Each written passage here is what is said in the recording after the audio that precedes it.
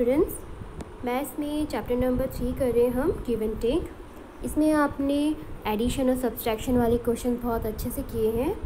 आज आप ये वर्कशीट करेंगे, जिसमें ये वर्ड क्वेश्चन हैं, ये दो वर्कशीट हैं, एक ये है, एक ये है। एडिशन और सब्सट्रैक्शन से रिलेटेड है, बहुत ईजी है। जैसे फ़र्स्ट क्वेश्चन देखिए। There were five hundred thirty eight crows in a field एक फ़ील्ड में five hundred five hundred thirty eight crows थे कौवे थे।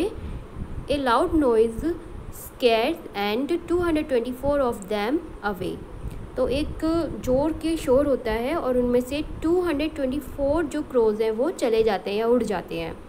How many crows are left तो कितने क्रोज अब लेफ़्ट हैं या बचे हुए हैं फ़ील्ड पे? तो टोटल क्रोज कितने थे फ़ील्ड पे? फाइव हंड्रेड थर्टी एट जिनमें से 224 जो क्रोज हैं, वो चले जाते हैं। तो अब इनको जाने के लिए क्या देते हैं हम माइनस करके, ठीक है? तो माइनस करके ही इनको दूर कर सकते हैं। तो आपको पता चल जाएगा कि फ़ील्ड में कितने बचे हुए हैं।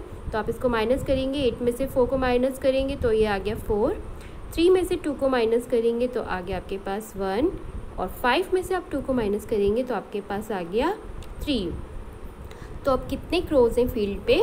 थ्री हंड्रेड फोर्टीन क्रोज हैं। इसी तरीके के सारे क्वेश्चन है बेटा। बहुत इजी हैं। आप अच्छे से पढ़िएगा, समझिएगा और फिर डिसाइड कीजिएगा कि आपको इसमें प्लस करना है या आपको माइनस करना है। और फिर वही करके आप आंसर देंगे। एक शीट ये है, एक वर्कशीट ये वाली है। Okay good luck